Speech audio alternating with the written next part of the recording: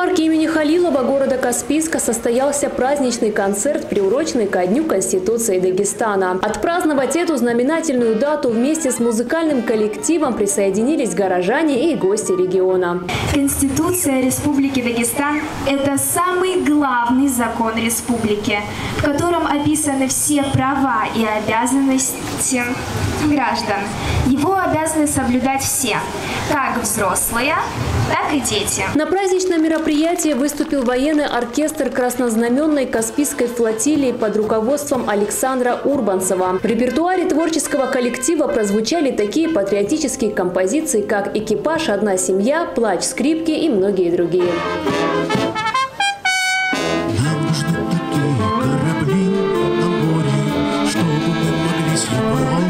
Поспорить.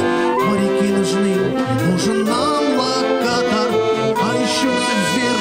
нужны ребята. И тогда вода нам как земля, и тогда нам экипаж семья, и тогда любой из нас не против. Всю жизнь служить в военном флоте, Кроме того, оркестр исполнил и другие, всеми любимые и известные композиции. Гости концерта поддерживали музыкантов бурными овациями, а самые юные танцевали в такт.